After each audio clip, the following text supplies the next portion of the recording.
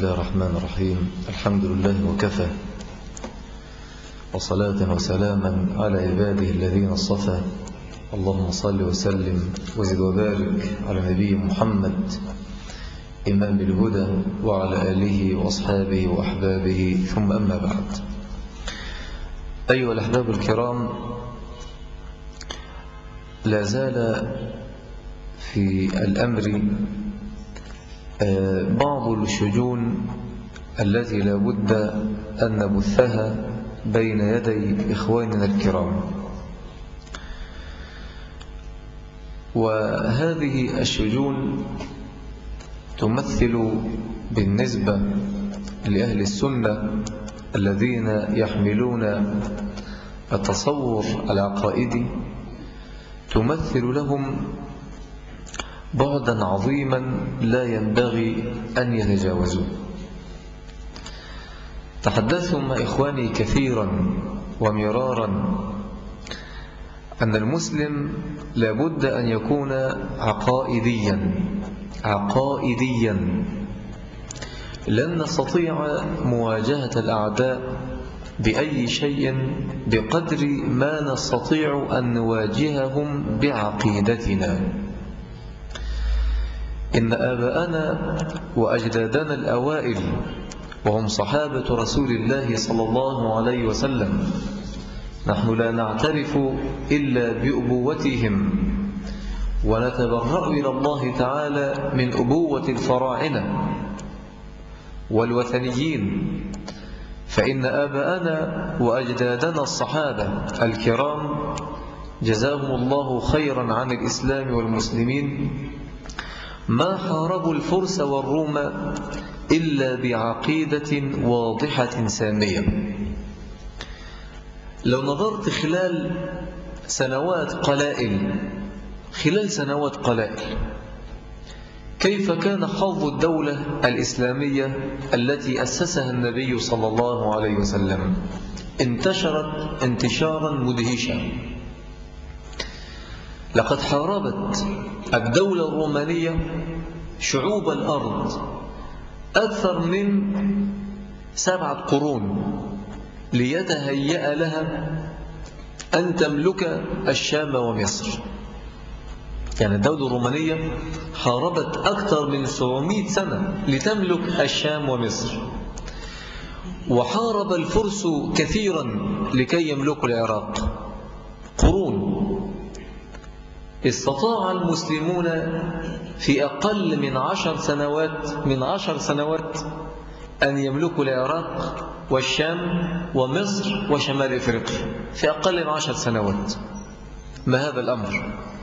بأي شيء يا ترى هل كان لدى المسلمين ترسانة عسكرية هائلة؟ أبدا. بل كان المسلمون في تسليحهم وعتادهم في قمة البساطة. لا أقول في أدنى البساطة في قمة البساطة. التسليح العسكري للمسلم رمح قصير سيف قصير ترس أو درع. ده التسليح العسكري للمسلم. بينما كان الرومان والفرس يتسلحون ويتدرعون بأسلحة لا نظير لها على وجه الأرض. أكبر قوتين عسكريتين عالميتين في ذلك الوقت. يستطيع المسلمون أبناء الصحراء الذين ليست لهم تدريبات عسكرية فائقة يستطيع في أقل من عشر سنوات أن يحطموا هاتين الدولتين. بل تستطيع الدولة الإسلامية أن تقضي تماما على دولة الفرس ويقتل يزدجرد وهو آخر ملوك الفرس. يقتل لعل ذلك الأمر لم ينسه أبدا الفارسيون. لم ينسى الفرس أبدا أن المسلمين أحفاد الصحابة استطاعوا أن يقضوا على دولة الفرس في سنوات قليل. لم ينسوا ذلك أبدا. لم ينسوا هذا أبدا. ولذلك كان معظم الكيد للإسلام والمسلمين من جهة الفرس. كان معظم الكيد من جهة الفرس. من الذي قتل عمر بن الخطاب؟ أبو لؤلؤة المجوسي. أصله فارسي. النبي صلى الله عليه وعلى آله وصحبه وسلم قال ألا إن الفتنة ها هنا؟ ألا إن الفتنة ها هنا؟ ويشير بيده نحو المشرق. المشرق العراق وما وراءها أي بلاد فارس. أيضا لو نظرنا لو نظرنا إلى الدول التي احتضنت البدعة وعمقتها وحاربت من أجل نشر هذه البدعة نجد أن من أعظم هذه الدول بلاد فارس. سبحان الله. نجد أن اليهود عندما يمالئون يمالئون المسيح الدجال يخرجون مع الدجال من أي بلد؟ من أي بلد؟ من أصفهان. وأين تقع هذه البلدة؟ تقع فين؟ في بلاد فارس وإيران الحالية الله. إذا الذين يؤيدون الدجال هم يهود فارس. والذين حضنوا البدعة قديما وقاتلوا خلفاء قديما هم أهل فارس. هم أهل فارس. ولو تتبعنا المواقف المظلمة لوجدنا أن هناك تحالفا وثيقا بين الفرس وبين أعداء الإسلام. بين الفرس وبين أعداء الإسلام. آه، كلنا يعرف الكشوف الجغرافي. كشف رأس الرجاء الصالح كشف الأمريكتين آه، اكتشاف استراليا نزول المكتشفين عند إندونيسيا وماليزيا وهذه المناطق هذه الكشوف الجغرافية من الذي قام بها؟ قام بها الصليبيون الأسبان والبرتغال يعني أول كشوف جغرافية كانت على يد من؟ الأسبان والبرتغال لماذا؟ الأسبان والبرتغال كانوا يقصدون من وراء الكشوف الجغرافية ضرب الإسلام والمسلمين. عاوزين يكتشفوا أماكن الضعف في بلاد المسلمين لينفذوا منها إلى المسلمين. واستطاع هؤلاء الصليبيون أن يوجدوا صلة بينهم وبين الدولة الفارسية في ذلك الوقت وهم الصفويون. وهم الصفويون. الصفويون ديت أول دولة رافضية تقيم نظاما سياسيا على أسس عقائدية الدولة الصفوية. إذا ما هي الدولة الصفوية؟ الدولة الصفوية هي دولة رافضية عقائدية خبيثة استولت على مقاليد الأمر في بلاد فارس. في بلاد فارس. واستطاعت أن توسع رقعة هذه الدولة رقعة هذه الدولة. وكانوا يجتهدون في ضم العراق إلى بلاد فارس. قلت لكم هذه المعلومة من قبل بأن السلطان العثماني كان يجاهد في أوروبا فلما علم بأن الجيوش الرافضية الخبيثة هاجمت العراق وتريد ضم العراق إلى بلاد فارس اللي حصل أوقف الجهاد ضد الصليبيين وانكفأ إلى الرافضة ليجاهدهم. ولعل هناك تحالفا بين الرافضة وبين القوات الصليبية لتخفيف الضغط عن جبهة أوروبا. ما الضير؟ إن الصليبيين الأسبان والبرتغال هم الذين أوعزوا إلى الرافضة بغزو العراق ليلتفت الجيش العثماني إليه فيترك بقية السير في أوروبا لعل ذلك أن يكون واردا. لا سيما بأن الجيش العثماني كان على مشارف فيينا وحاصرها وكان خطة السلطان العثماني أن يفتح روما ويقضي تماما على الصليبيين. فلعل هذا الأمر أن يكون حديثا. فهذه الدولة الصفوية الرافضية الخبيثة قامت على ماذا؟ قامت على أسس عقائدية. وإسماعيل شاه الصفوي آه، جلب علماء الرافضة من شتى أصقاع الأرض لا سيما من جبال عامل في لبنان. يعني علماء الرافضة في لبنان هم الذين أسسوا المذهب الرافضي فين؟ في بلاد فارس أقول ذلك لأن بعض الناس يقول لك الرافضة في لبنان غير الرافضة فين؟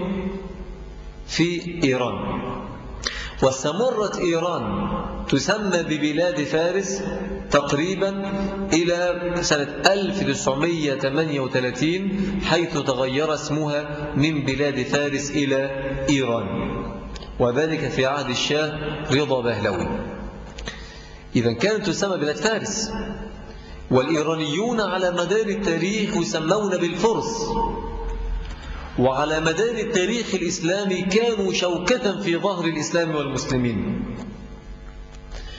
وتقول إنهم الذين ساعدوا على قيام الدولة العباسية. نعم ساعدوا على قيام الدولة العباسية. لماذا؟ لأغراض خبيثة.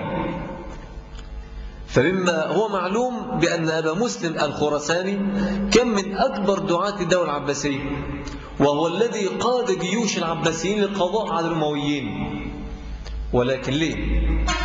لماذا؟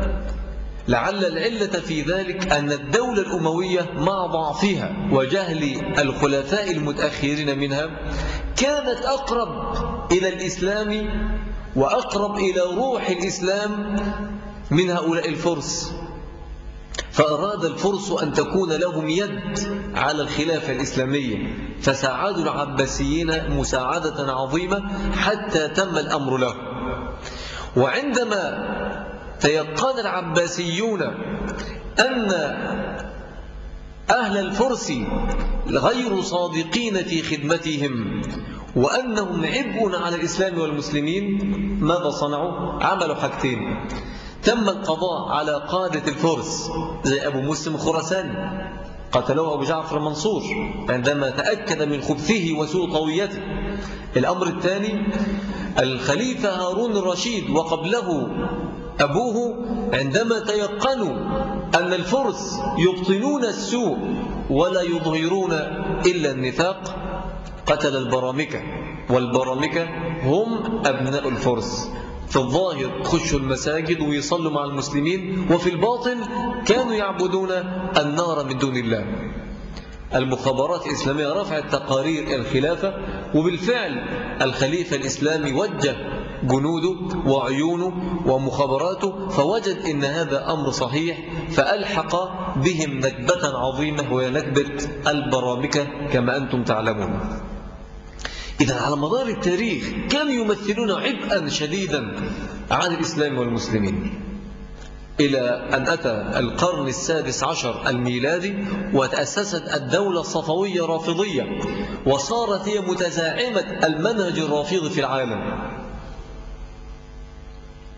حاول السلطان عبد الحميد الثاني وذلك في نهايات القرن العشرين حاول ذلك أو في بدايات القرن العشرين حاول ذلك الخليفة أن يراسل سلاطين الرافضة ويحاول أن يقنعهم بأن يكون المسلمون السنة والرافضة يدا واحدة على الصليبيين واليهود ولكنهم خذلوه خذلوه قالوا لا ما ينفعش. في الوقت الذي كان الشيخ المراغي يسعى إلى التقريب بين المذاهب حاول السلاطين العثمانيين أن يوجدوا صيغة تفاهم بينهم وبين الرافضة لكي يحاربوا الصليبيين ويوقفوا أطماع اليهود في ديار الإسلام لكنهم رفضوا.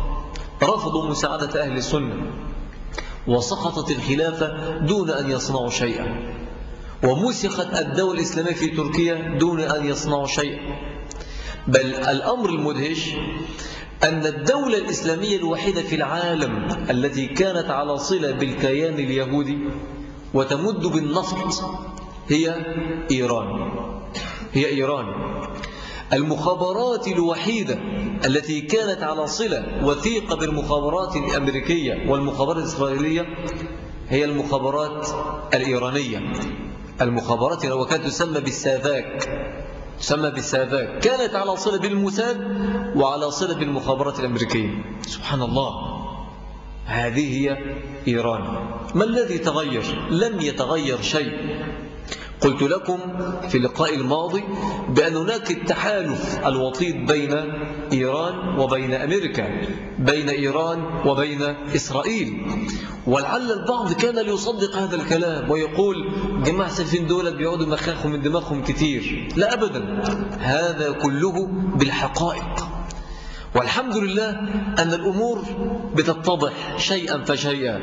ما كنا نتكلم فيه منذ سنين وأخبرتكم به منذ سنين يتحقق الآن. بالضبط. التحالفات التي أخبرتكم بها منذ سنين يحصل كذا وكذا وكذا. حدثت تصوري أن العراق سيحدث فيها كذا وكذا وكذا وأن ما يحدث من دخول الأمريكان هذا تمهيد للتعاون بين أمريكا وبين إيران لأن إيران من مصلحتها إسقاط صدام وأمريكا من مصلحتها إسقاط صدام لحتى يكون الجو ممهدا لدخول الميليشيات المسلحة الرافضية إلى العراق وتعديل شأن العراق من أجل إقامة دولة رافضية خبيثة. تضم أجزاء من العراق إيران لبنان سوريا. ثم بعد ذلك يمتد هذا الهلال الشيطاني الرافضي الخبيث ليضم غيره من الدول. قامت الدنيا ولم تقعد. قامت الدنيا لم تقعد. ما هذا الكلام؟ وعندما تكلمت عن حزب الشيطان قالوا إنه الذي رفع الجبهة وهو الذي أعاد للأمة مجدها. وبعض الناس شبه حسن نصر بصلاح الدين الأيوبي. قلت سبحان الله صلاح الدين الأيوبي الذي حارب الرافضة. تشبهون هذا الرافضي الخبيث بصلاح الدين الأيوبي. وتكلمت في عدة موضوعات عن هؤلاء الرافضة وبينت أن هناك تحالف وثيق بين الرافضة في لبنان وإيران وكلهم على ملة واحدة وأن هناك دولتين مستهدفتين الدولة الأولى هي السعودية والدولة الثانية هي مصر لأن السعودية تمثل روح الإسلام. ومصر تمثل عافية الإسلام. قلت ذلك مرارا. وقلت بأن الرافضة لا يحبون لا مصر ولا السعودية. حتى سقط في يد المنشور الذي قرأته عليكم الأحد الفائت أن الرافضة يطالبون أن يشرف الرافضة على ماذا؟ على مكة والمدينة. الرافض دلوقتي بيقولوا لا مش عاوزين النظام السعودي هو يشرف على مكة والمدينة. اللي نشرف على مكة والمدينة. ويوزعون ذلك فين؟ هنا في مصر. يوزعون هنا في مصر هذا الكلام. لم يصدق أحد. لم يصدق أحد. بل قامت الجرائد بحملة شديدة ضد الوهابية. ضد الوهابية قال بأن الوهابية هم الذين يحاربون الإسلام وأنهم مأجورون من قبل أمريكا. نحن مأجورون من قبل أمريكا. وسمت بعض الوهابيين وقالت أختارهم فلان وفلان. هذا في الجرائد أختارهم فلان وفلان. وسموني من أخطر الوهابيين. سبحان الله كذب. الذي حدث أن بعض الجرائد التي هاجمتنا يعني أنا من جملة الذين يتكلموا في هذا الشأن الآن رجعوا إلى الجد. وسأقرأ عليكم بعض الأشياء حتى نستخلص العبر. دي جريدة الأسبوع. وكانت من الجرائد المشجعة جدا للرافضة. ويعني تقول أنه لابد من طي صفحة الماضي ولابد من الناس تستشرب بقى المخططات الأمريكية. وكفاية بقى نقعد نتكلم عن الماضي وأحزان وما إلى ذلك. ننظر ماذا قالت المقاطع. وذلك في جريدة الأسبوع العدد 511 اللي بتاع هذا الأسبوع الصفحة الثانية. بيقول إنني أسأل الذين صدعوا رؤوسنا بالحديث عن القانون والشرعية وحقوق الإنسان ما هو موقفهم من تلك الجريمة النكراء؟ اللي هو إيه الجريمة؟ اللي هو إعدام صدام وبعد ما تعدم ذبحوه. يعني التقريب تقول حتى الصورة موجودة بالفعل صورته فيها أثر آه، ذبح في العنق. ده صورته بعد الإعدام والصورة الثانية آه، بعد أن ذبحوا رقبته. وطبعا في هناك تقارير أنهم ضربوه قبل الإعدام. ضربوه ضربا شديدا بحيث يرهبوه. فيبدو أمام الناس بأنه إيه، مرتعش ومهزوم وما إلى ذلك. ولكن سبحان الله يعني كما يقولون إن كفأ الأمر عليهم. إن كفأ الأمر عليهم. ونحن لسنا بصدد تقييم موقف صدام. ده مسألة انتهت ولكن نحن نريد أن نأخذ العبر والفوائد. آه، وبعد ما آه، قتلوه بعد ما قتلوه وسقط المفترض إن في كل الإجراءات القانونية وأنا قرأت في ذلك وسألت بعض الناس قالوا إن أول ما بيسقط بيقطع الحبل. اللي حصل فضلوا سايبينه ما يقرب من عشر دقائق. من عشر دقائق مخالفين بذلك كل الأعراف الموجودة في العالم.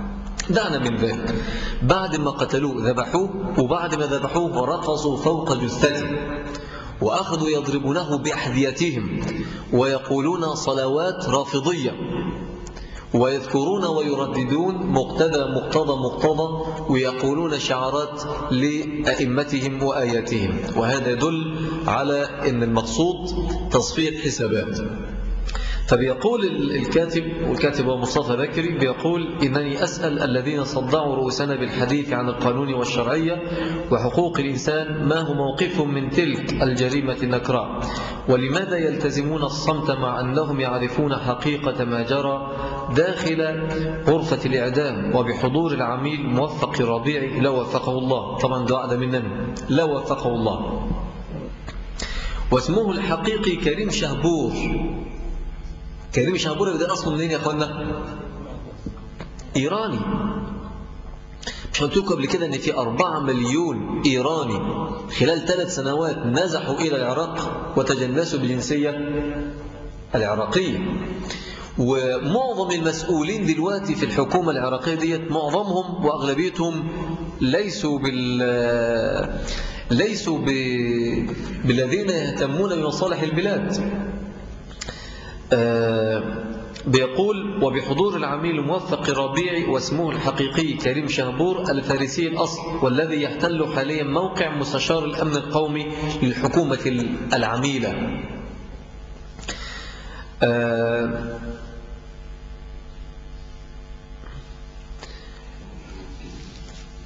يقول وهذه الميليشيات لأن طبعا الذي قام بمسألة الإعدام آه، دول مش ناس مسؤولين في الحكومة. أمال مين الناس دول؟ دول ميليشيات بتاعة الحكيم. ده ميليشيات الحكيم وميليشيات بدر والمهدي وما إلى ذلك. بيقول هذه الميليشيات أصبحت لها اليد الطولة في العراق في الوقت الراهن. لقد سمح لها الاحتلال بأن تمارس التعذيب والقتل والنهب والاعتداء على الحرمات كما غض الطرف عن الأموال والأسلحة التي تتدفق إليها من إيران بما يكشف بما يكشف آه، عن اتفاق إيراني أمريكي صهيوني هدفه تمزيق العراق والقضاء على كل مصادر قوته وتفتيته إلى دويلات متصارعة. الله أكبر. شوف شوف هذا الكلام بعد إيه؟ بعد ما خربت مالطا زي ما بيقولوا كنا بنقوله من زمان. ما صدقونا. ما صدقونا. آه، يقول أيضا ونحن هنا. نحذر من مخاطر الخطاب السياسي والإعلام والإعلامي الذي يريد آه, آه. فقال فالمؤامرة فارسية.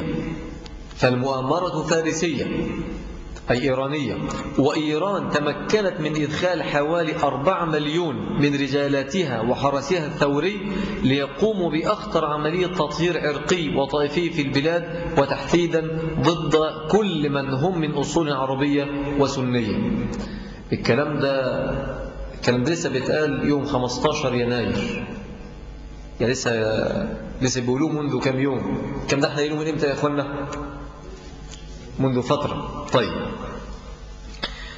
آه إن الجثث والمذا إن المذابح والجثث المتناثرة في كل مكان التي أصبحت لا تعد ولا تحصى لا يمكن أن تكون من فعل أبناء الوطن الواحد بل هي من فعل المحتلين الذين آه، قدموا إلى العراق سواء تحت تحت يافطة الغزو الصريح أو تحت يافطة التسلل المستتر.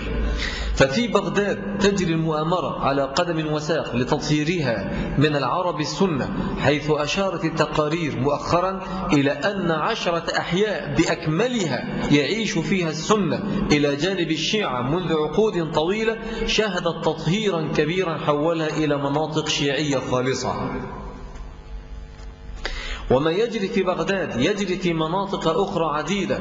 والهدف إجبار السنة على الهجرة من البلاد وإبعادهم قسرا حتى يمكن تحقيق هذا الهدف في أسرع وقت ممكن.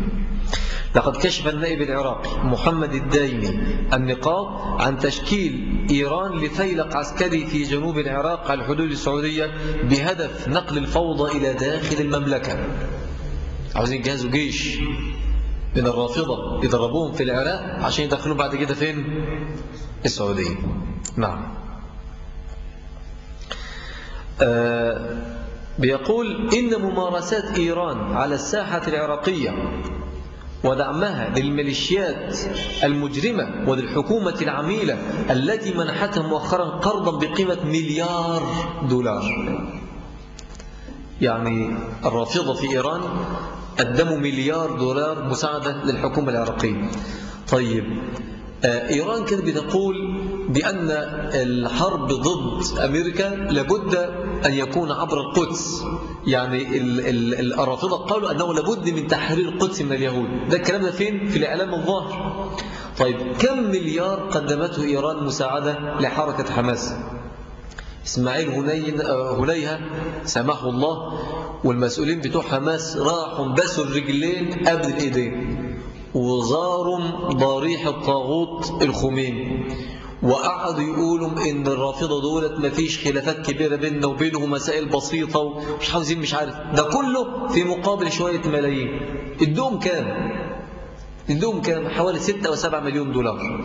وحطوهم في شنط هاندباج وإسرائيل ورتهم المر عشان تسمح لهم بدخول الكم مليون دولار دول.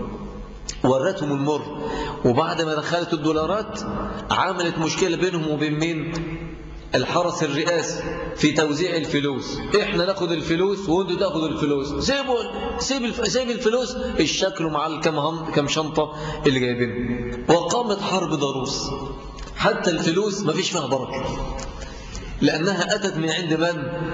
الخبثاء. يعني لو جت عند اليهود كانت أحسن. سبحان الله. بينما يقدمون مليار دولار لمن؟ للعراق. ليه؟ لماذا؟ لماذا؟ لأنهم على شاكلتهم لأنهم على شاكلتهم آه بيقول آه إن ممارسات إيران على الساحة العراقية ودعمها للميليشيات المجرمة وللحكومة العميلة التي منحتها مؤخرا قرضا بقيمة مليار دولار. كل ذلك يجعلنا نشكك في هذه المخططات التي تهدف إلى الزحف لاختراق الجسد العربي وتقطيعه لحساب الدولة الصفوية الجديدة. انتبه.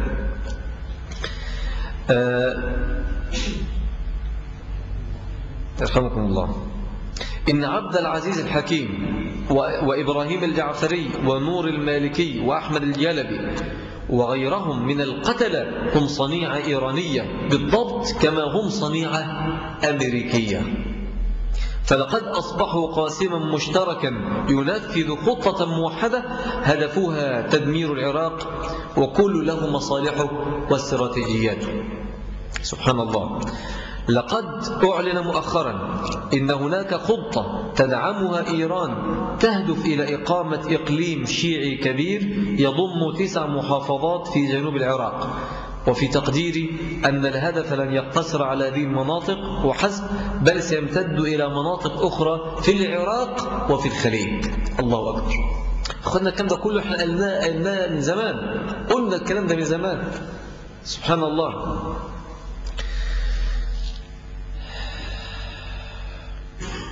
وإذا كنا نعرف أن لإيران ولأمريكا وللصهيونية أصبح كلهم إيه؟ إذ واحد وإذا كنا نعرف نعرف أن لإيران ولأمريكا وللصهيونية أهدافهم من وراء أن لإيران ولأمريكا وللصهيونية أهدافهم من وراء جرائمهم التي ترتكب على أرض العراق وضد الرئيس صدام حسين الله المستعان فهل يعرف بعض الأشقاء العرب الذين هللوا أو صمتوا أمام المشهد البربري أمام المشهد البربري أنهم يفتحون الطريق بذلك الغزاة والمحتلين للزحف إلى عواصم عديد من بلادنا العربية وتحديدا في الخليج؟ بيقول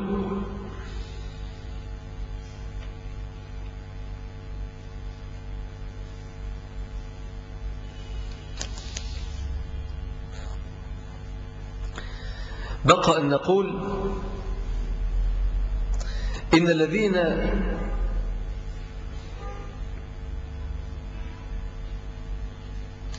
آه، بيقول إن أمريكا تريد تفتيت المنطقة. وإيران لها مصالحها.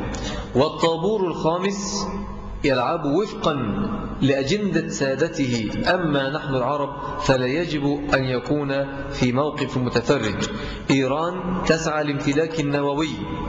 والعدو الصهيوني لديه ترسانة ونحن يجب أن نتحرك سريعا قبل أن نجد أنفسنا ممزقين بين عدو مستعمر يريد أن يقتلنا لحساب مشروع الاستعماري وعدو آخر يريد أن يذبحنا باسم مشروعه السطوي المغلف بشعارات إسلامية ومعادية للإمبريالية والصهيونية.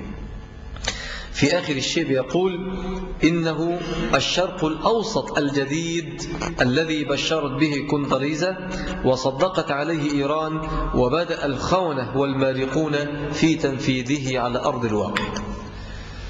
طيب ما رأيكم في هذه المقتطفات؟ بعض الناس يقولون بأن الاتجاه السلفي دول ناس عايشين بين الكتب لا فاهمين واقع ولا عارفين حاجة في الدنيا. بفضل الله عز وجل لا ينبغي إلا أن نزداد طمأنينة إلى ما ننتهي إليه من التوجهات والآراء والتحليلات. لماذا؟ سأقول لكم السبب بعد قليل.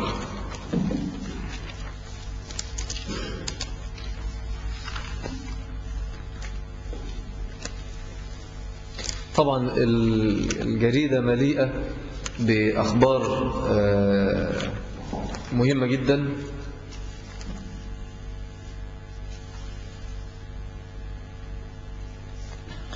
من ذلك مثلا مقال في صفحة 8 بالتعاون العلني مع الولايات المتحدة إيران تسعى لابتلاع دول الخليج. واضح. بالعنوان عنوان أساسي. بالتعاون العلني مع أمريكا إيران تسعى لابتلاع دول الخليج. مقال أخرى لأول مرة بوش وإيران يتفقان.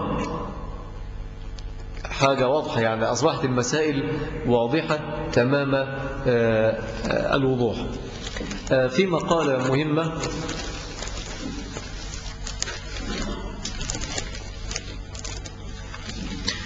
هذه المقالة في الصفحة التاسعة بيقول الصفويون يكررون التاريخ.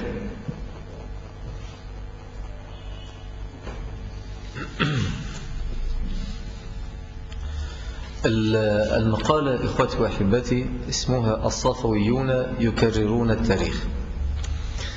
آه الانتماء فارسي والذبائح عربية إسلامية.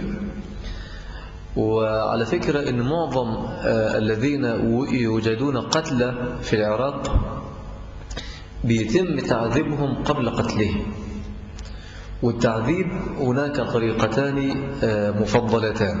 الطريقة الأولى طريقة المثقاب. المثقاب زي الشنيور كده يخرم به البدن ثم الخروم دي تملأ بالملح. تملأ بالملح. والطريقة الثانية الذبح حتى الموت. ده دي هي الطرق المفضلة وكل الجثث التي يجدونها يجدونها بهذه الصورة. بيقول آه، الكاتب وأنا سأتخير منه أشياء ربما لا يعرف الكثيرون أن إيران التي نعرفها الآن على أنها دولة مسلمة شيعية تناطح الأمريكان بإصرارها على تخصيب اليورانيوم وإنشاء المفاعلات النووية وتهاجم من يقولون بمحرقة اليهود وتصنع مهرجانا للرسوم المتهكمة على المحرقة ردا على الرسوم المسيئة التي نشرت بدنمارك.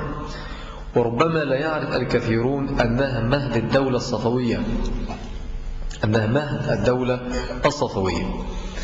آه، وبعدين بيقول والدولة الصفوية هي التي أرست دعائم مذهب الشيعة الإمامية أو الإثنى عشرية في إيران.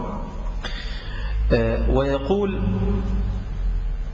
وترجع جذور آه، الدولة الصفوية إلى الشيخ صفي الدين الأردبيلي المتوفى سنة 1334 ميلادي الذي كان شيخ طريقة صوفية انتبه حتى تحاول أن تربط بين آه، الشيعة الرافضة وبين من؟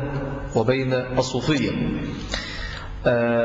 كان شيخ طريقة صوفية وظلت إيران بعده لمدة طويلة على المذهب الشافعي. يعني إيران قعدت لغاية مثلا القرن الخامس عشر الميلادي على المذهب السني على المذهب السني الشافعي. إلى أن قال آه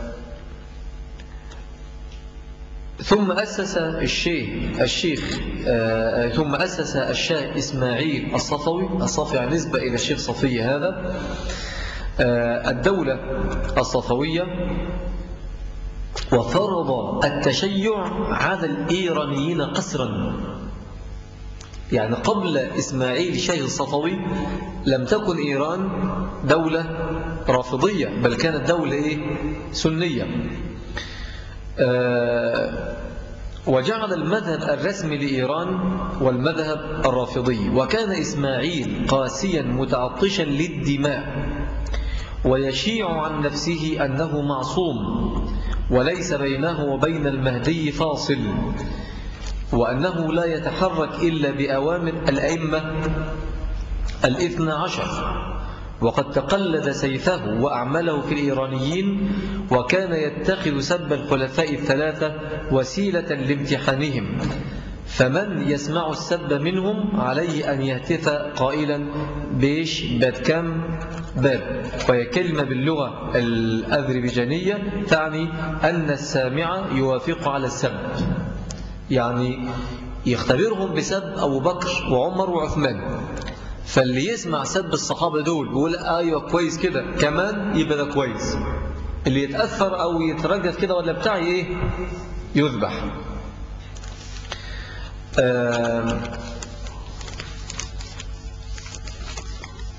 وعندما فتح تبريز في بداية أمره وأراد فرض التشيع على أهلها بالقوة أشار عليه بعض شيوخهم أن يتريث لأن ثلثي سكان المدينة من أهل السنة وأنهم لا يصبرون على سب الخلفاء الثلاثة على المنابر ولكنه أجابهم إذا وجدت من الناس كلمة اعتراض شهرت سيفي بعون الله فلا أبق منهم أحدا حيا. مشيرا إلى أنه من بدأ إلى أنه هو من بدأ تنظيم الاحتفال بذكرى مقتل الحسين على النحو المتبع الآن.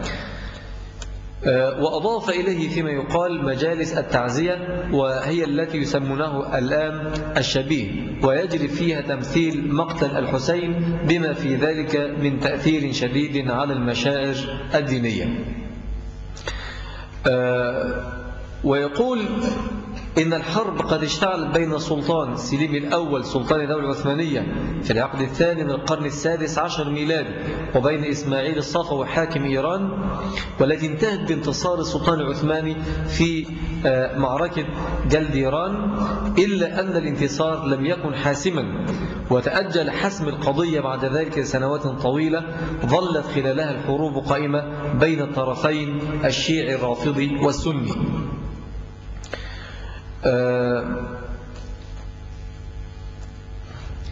ثم يقول إن الصفويين بحروبهم ضد الدولة العثمانية قاموا بتفكيك وحدة الدولة الإسلامية وهو ما يؤكده السلطان عبد الحميد في مذكراته أنا أنصح إخواني بقراءة مذكرات السلطان عبد الحميد. هي موجودة مطبوعة والمعرض إن شاء الله على بابا هوت. يا ريت الإخوة تقرأ مذكرات السلطان عبد الحميد الثاني. مهمة جدا مفيدة في تشكيل عقليتك لأنها متصلة بالواقع الذي نعيشه الآن. حيث يقول إن الصراع بين الصفويين والعثمانيين لم يكن لصالح الأمة الإسلامية بل لصالح الكفر والكافرين. هذا كلام السلطان عبد الحميد.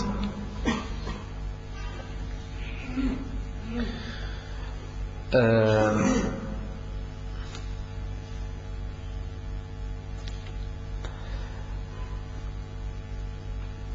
إلى أن قال آه ولعل التاريخ الذي يعيد نفسه يبتسم بمرارة وهو يكتب بين صفحاته الجملة التي قالها عبد العزيز.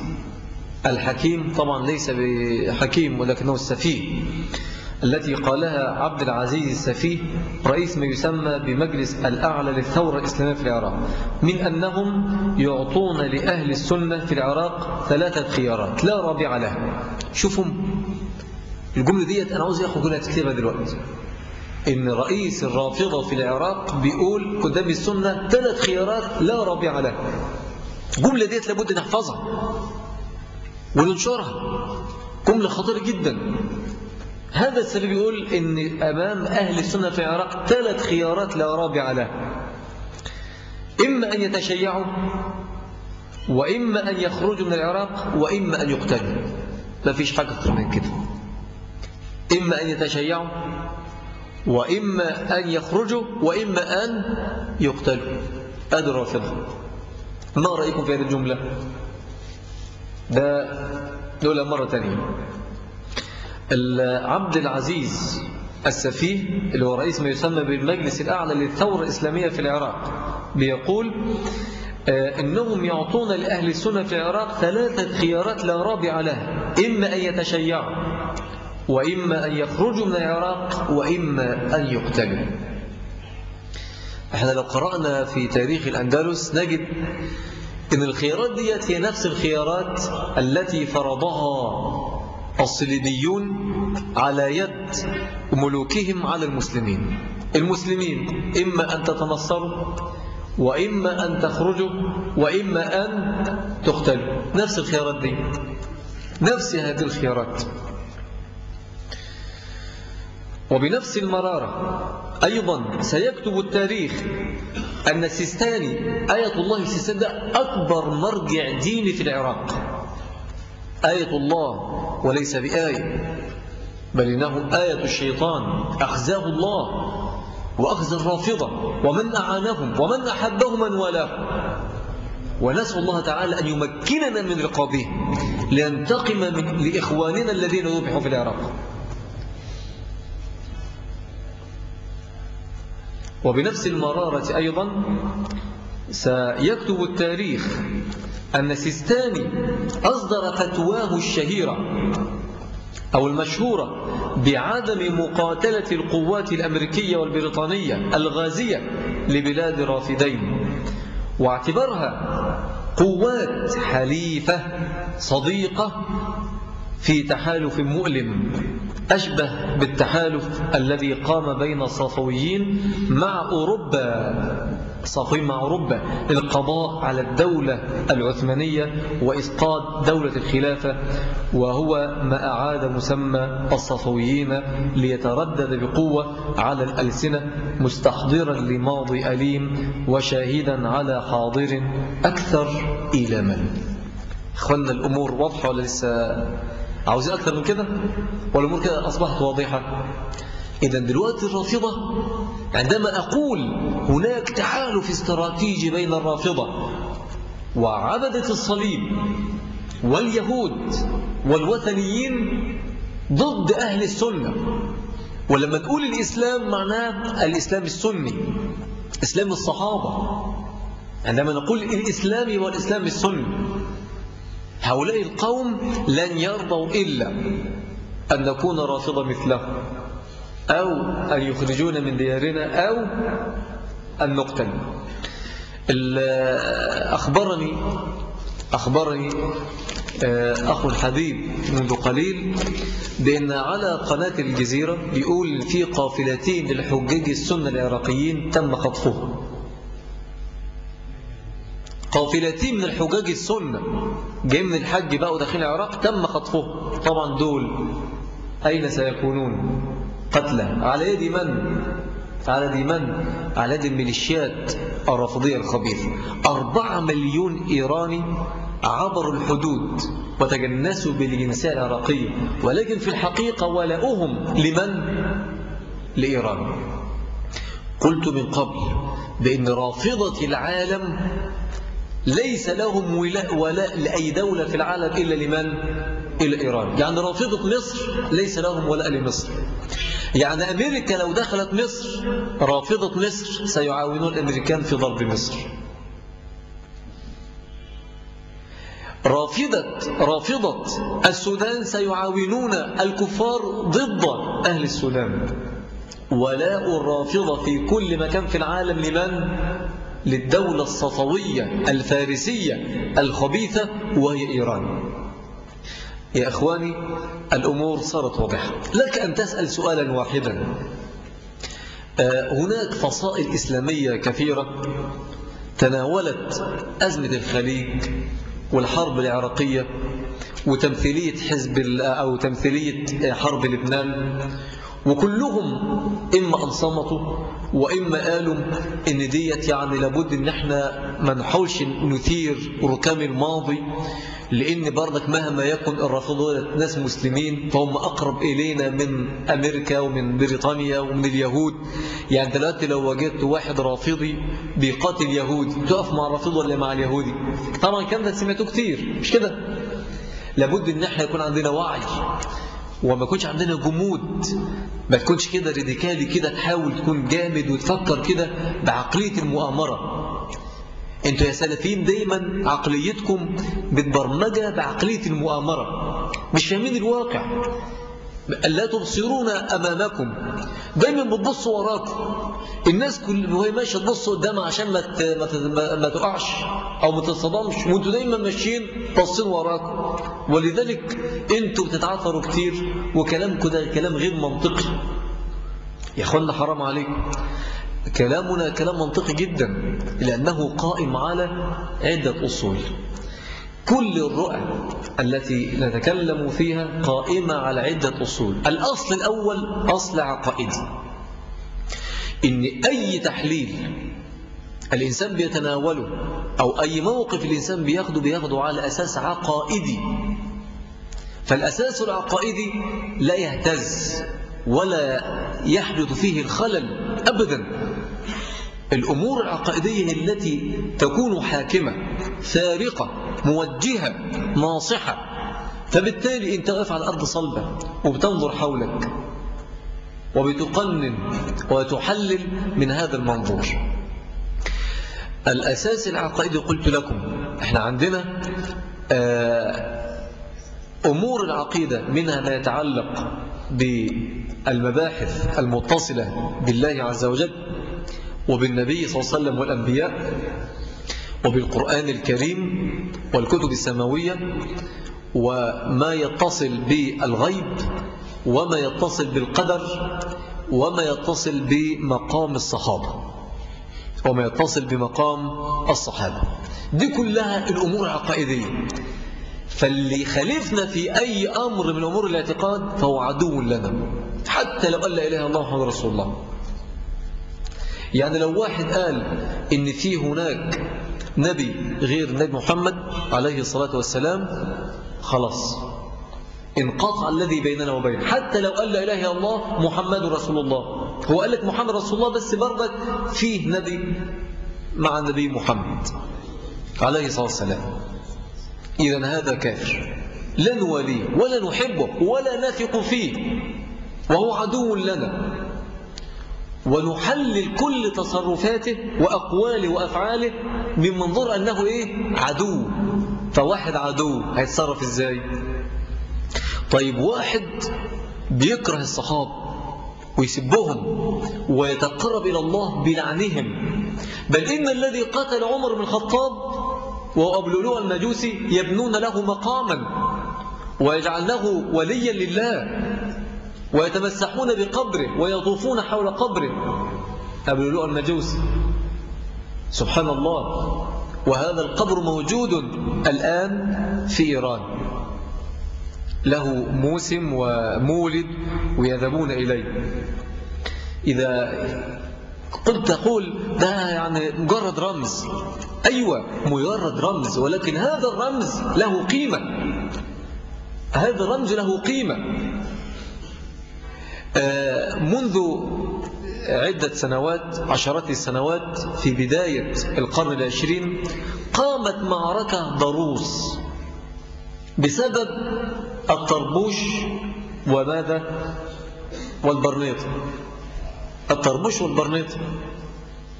وفرض كمال أتاتورك إن أي واحد ما يخلعش الطربوش يعاقب بالسجن المشدد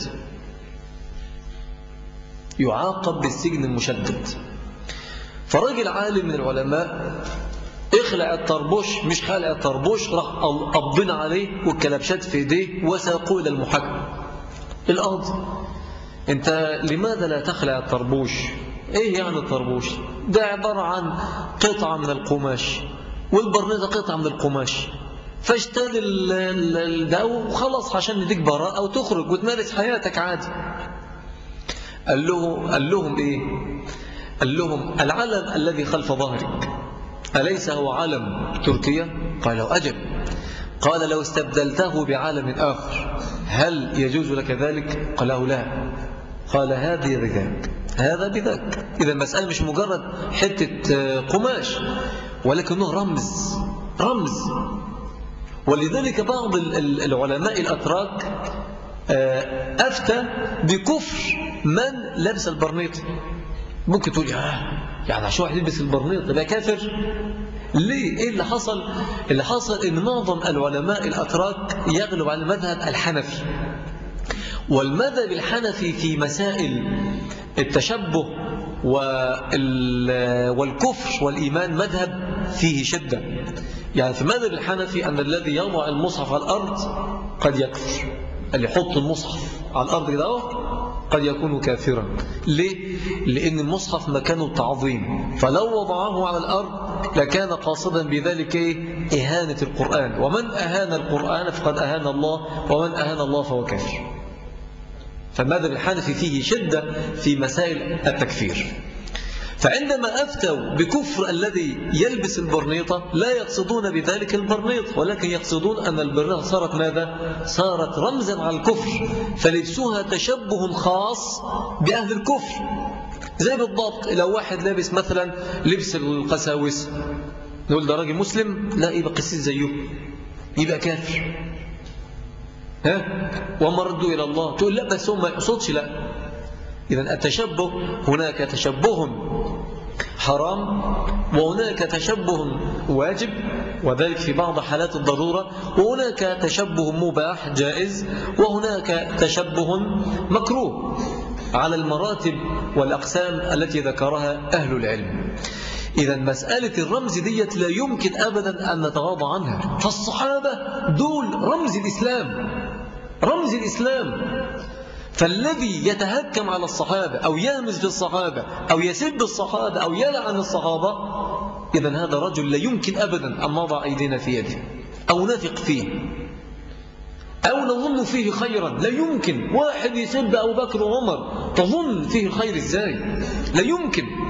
ما تقولش بس برضك العدو القريب ودول أقرب إلينا من اليهود والنصارى وإحنا لابد يكون نظرة مستقبلية ورؤى استراتيجية ودراسات مش عارف إيه. سيبك من ده كله. إحنا عندنا عقيدة صافية واضحة. من تابعنا في هذه العقيدة؟ كان أخا لنا وحبيبا لنا له ما لنا وعليه ما علينا. وحالنا معه الدم الدم والهدم الهدم. الدم الدم والهدم الهدم. ومن خالفنا في عقيدتنا كان حربا كان حربا ولم يكن أخا لنا ولم يكن أخا لنا. إذا دي مسائل واضحة. إذا أول أساس بنقف عليه لكي نرى العالم. يعني السلفي إيه اللي بيحصل؟ واقف على تبة عالية جدا وشايف العالم كله. شايف العالم كله. مش واقف على تبة الكبر والعجب أبدا. ده إنسان بسيط جدا ومتواضع وذليل وبينظر لنفسه أنه إنسان حقير كل شيء ولكن بيبصر كل ما حوله. ومن حوله؟ مش عايش كده في الأنفاق المظلمة؟ في الأحراش الموحشة؟ ده إنسان بسيط جدا بما حوله. ينظر إلى ما حوله. بعدة أصول. الأصل الأول الأصل العقائدي الأصل الثاني أصول نظرية علمية. يبقى عندنا أصول عقائدية وهذه أصول ثابتة. لا تختلف ولا تحيد. لا تختلف ولا تحيد. ما ينفعش. أيوة نعم يجوز احترام الصحابة وتعظيمهم وتوقيرهم في وقت ويجوز همزهم ولمزهم في وقت آخر. زي ما بعض الدعاء في الكويت سامحه الله. وله شرائط سيارة. قال أنا لا أحب سب الصحابة ولا الكلام عنهم على الملأ ولكن اللي يتكلم عنهم بينه وبين بعض الناس كده في المجالس الخاصة لا بأس.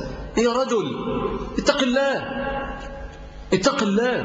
يعني لو واحد ضحك علينا قدام قال أبو بكر رضي الله تعالى عنه ها؟ وترضى عنه في المجالس الخاصة يقول أبو بكر المجرم عليه لعنة الله نصدق أي القولين؟ نصدق الموجود في المجمع العام ولا نصدق ما قيل في المجمع الخاص؟ أيوة هي كده. لأن صحيح الاعتقاد لا يتغير كلامه ظاهرا وباطنا على ملأ وعلى غير ملأ. كلام واضح لا يتغير ولا يهتز. كلام واضح. الأصل الثاني الذي نقف عليه لرؤية العالم حولنا أصول نظرية علمية. يعني إيه الأصول النظرية العلمية؟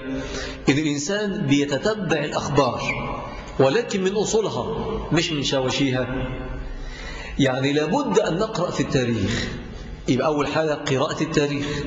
نقرأ التاريخ بتاعنا. نشوف الدول كيف قامت الدول وكيف سقطت الدول. هل سقطت الدول؟ هكذا.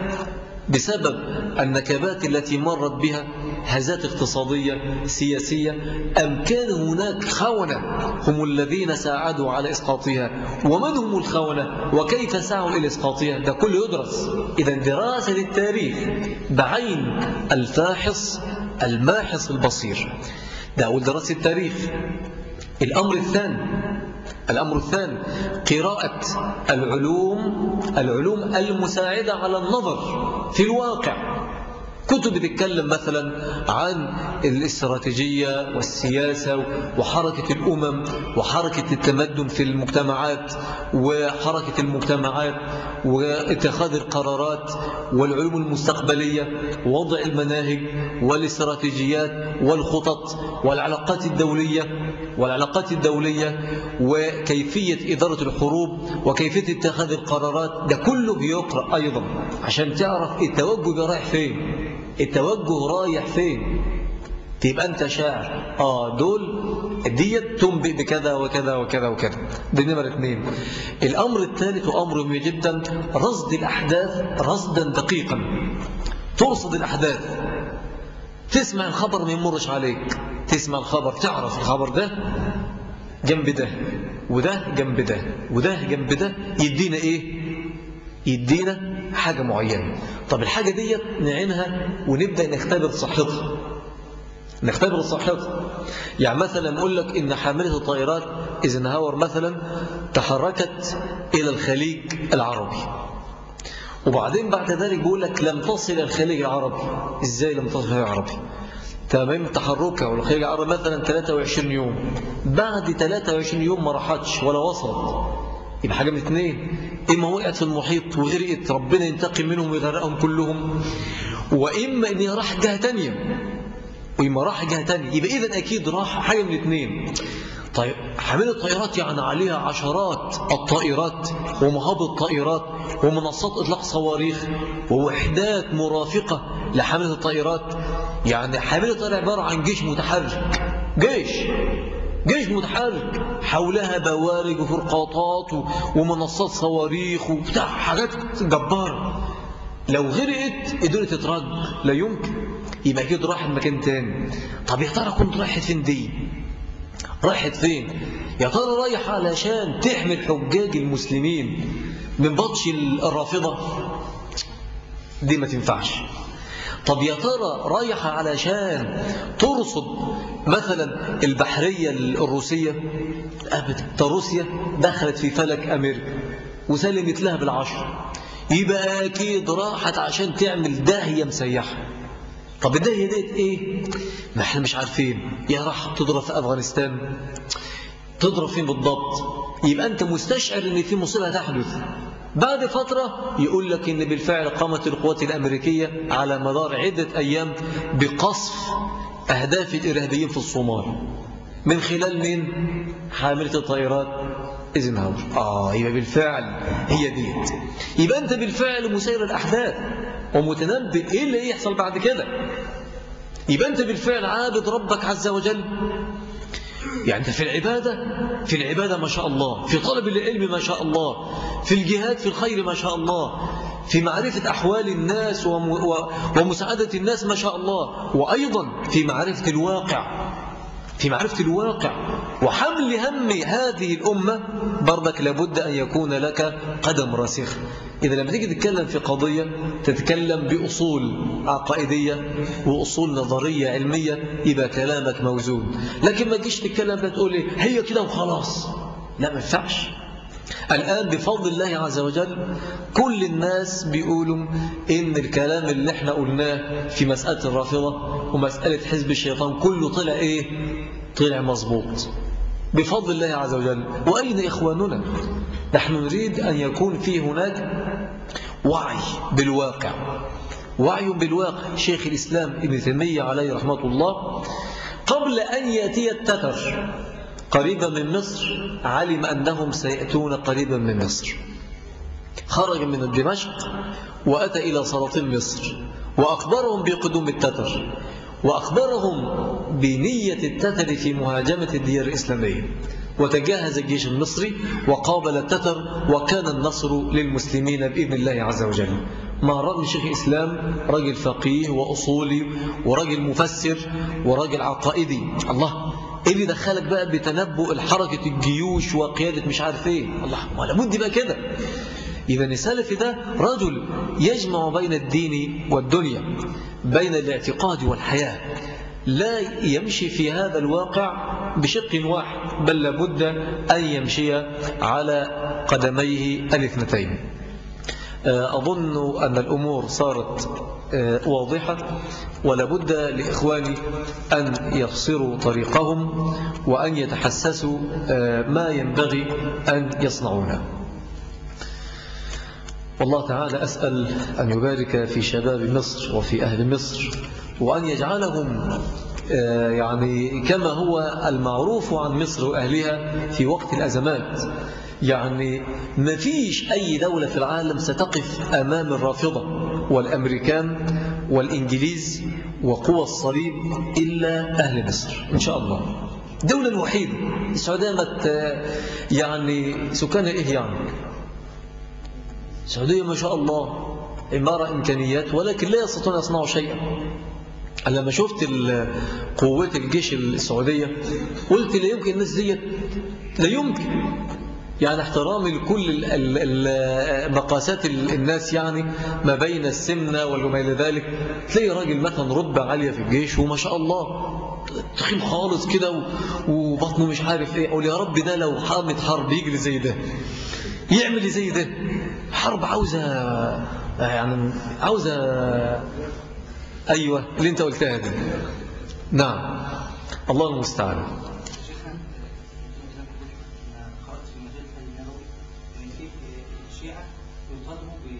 الرافضة. إحنا عاوزين دايما تقول كلمة الرافضة لأن هذه الكلمة آه، هي الكلمة أو المصالح الدقيق. ما هوش الشيعة. لأن الشيعة تقول لك طب ما في زي دي برك. وفي كذا. لا خلينا الرافضة.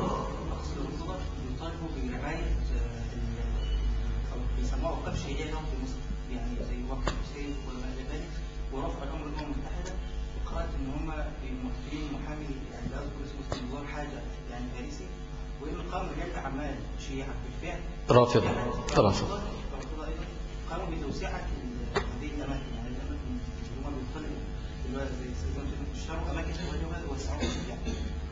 الكلام ده حدث في طائفة رافضية تسمى بطائفة البهرة.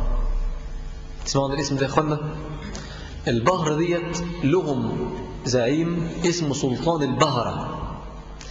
وللأسف هذا الرجل عندما يأتي أي دولة عربية يستقبل استقبال حافل.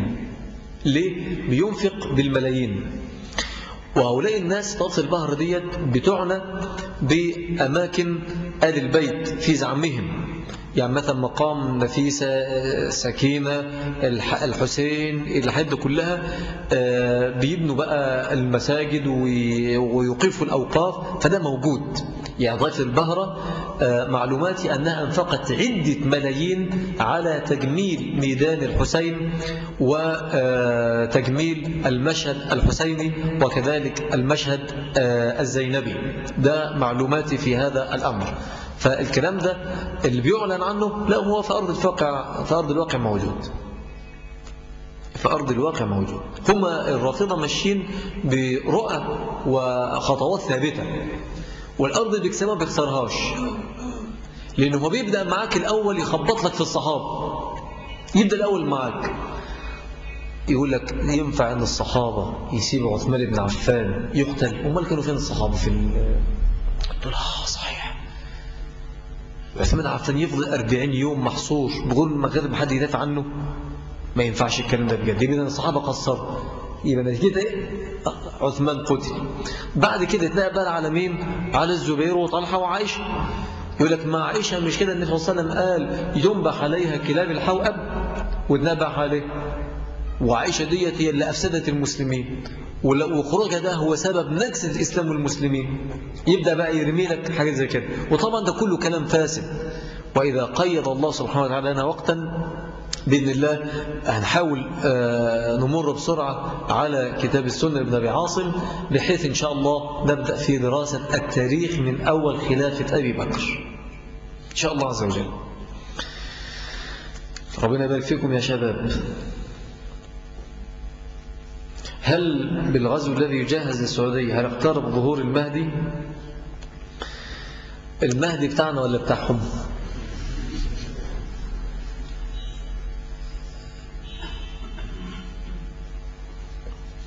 الله المستعان. آه لعل هناك فتن وملاحم ستكون قبل المهدي. والمهدي هذا آه، كما قال النبي صلى الله عليه وسلم يهديه الله عز وجل في ليلة واحدة. اسمه على اسمي واسم أبيه على اسم أبي يشبهني في الخلق والخلق. ده اللي هو المهدي يعني يسمى محمد ابن عبد الله. وخروجه لن يكون إلا بعد ملاحم ومن يدري لعل الملاحم ندرك شيئا منها أو لعل أولادنا يدركون شيئا منها أو لعل أحفادنا إن كان لنا أحفاد يدركون شيئا منها. والله المستعان. على أي حال لابد أن نتمسك بالاعتقاد السلفي الصحيح وأن نتواصى أن نكون يدا واحدة يريد نحاول أن نكون يدا واحدة ونحاول أن كل مشروع خيري آه، نتكاتف فيه ويوصي بعضنا بعضا. نكون يد واحدة في كل أمر طيب. يعني مثلا مثل هذا المجلس إيه المنع كل واحد يجيب مع خمس ست انفاق؟ جاي. بحيث أن يكثر هذا الخير ويعم هذا النفع. لأن الفترة القادمة هي فترة الدفع لما سيحدث بعد ذلك. هل تنقلب أمريكا على الشعب في العراق بسبب زيادة أطماع الرافضة في المنطقة؟ ويتكون معسكر شرقي من الرافضة ومعسكر غربي بين أمريكا وحلفاء البلاد العربية في السنوات القادمة وإذا حدث ما هو موقفنا في ذلك الوقت. ربما يحدث ذلك. ربما يحدث ذلك. لأن أمريكا كدولة عالمية كل حاجة عندها بالمقاس يعني هي عاوزة إيران تاخد شوية مصالح. بس حاجة على قدها برضه زي بالضبط لما يكون في هناك آه، قطيع من الغزلان أعيا الأسد. يعني الغزالة سريعة جدا. فالأسد مع الفارق مع التشبيه كل ما الأسد يجري أو بلاش الأسد في ضبع ضبع قوي قاعد يجري ورا الغزالة مش قادر يحصلها فقال لي ضبع تاني متهالك كده حلق عليا وهشركك معايا في الايه في الغنيمة. طبعا الضبع الضخم اللي هو المتوحش في دماغه إن هو هيديله مثلا حتة كارع صغير كده من الغزال. حتة كارع صغير. وبالفعل حلقوا على بعض ومسكوا بالايه بالغزال. وضربوا الغزاله موتوه. يجي بقى الصغير اللي هو الضعيف عاوز ينهش نهشة كبير إيه اللي يحصل له؟ الضبع القوي ضربه عليه دول عين لا. استنى لما أنا آخد نصيبي أديك أنت حتة كاري على قدك. طب لو افترضنا الضابع الضعيف الضئيل الحقير الذليل ده أراد أن يتأسد على الضبع القوي إيه اللي بيحصل؟ ممكن الضبع القوي يديله فوق دماغه ممكن. فهذا الأمر ممكن يحدث. وأنا يعني حاشيت الأسد من التشبيه لأن الأسد أكرم وأنبل أن, تشب أن يشبه بأمريكا. لأن أمريكا كالضبع فالضبع دائما يحب العفن. ويحب الضآلة والحقارة ومن طبعه الخسة بخلاف الأسد. الأسد لو شبعان عمره ما إذا حد. يعني الأسد لو أكل له جاموسة ونام. بعد ما كان جاموسة راح نايم. لو أنت حطيت إيدك على الأسد كده ما يعملش فيك حاجة لأنه أكل مبسوط بقى. أكل وشرب ونام وخلاص رضا. لكن الضابع حتى لو واكل جاموستين وحد جاي ناحيته يقوم هبشه حتى لو ساب من غير ما يعمل حاجة. خسيس.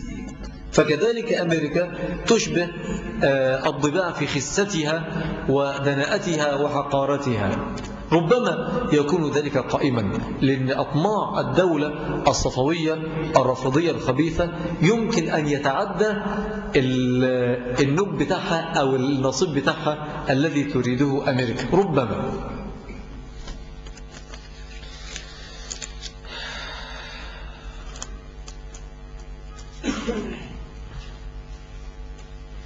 أسأل الله تعالى أن يوفق إخواني في امتحاناتهم وألا يذاكروا شيئا إلا وجدوه أمامهم في ورقة الامتحان سهلا ميسورا آه، مذللا بإذن الله تبارك وتعالى.